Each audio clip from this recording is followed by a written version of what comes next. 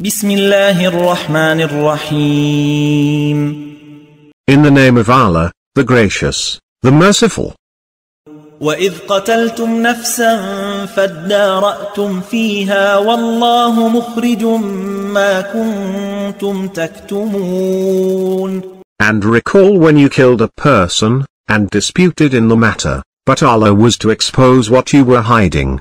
فقلنا اضربوه ببعضها كذلك يحيي الله الموتى ويريكم آياته لعلكم تعقلون We said, strike him with part of it. Thus Allah brings the dead to life, and He shows you His signs, that you may understand. ثم قست قلوبكم من بعد ذلك فهي كالحجارة أو أشد قسوة. وإن من الحجارة لما يتفجر منه الأنهار.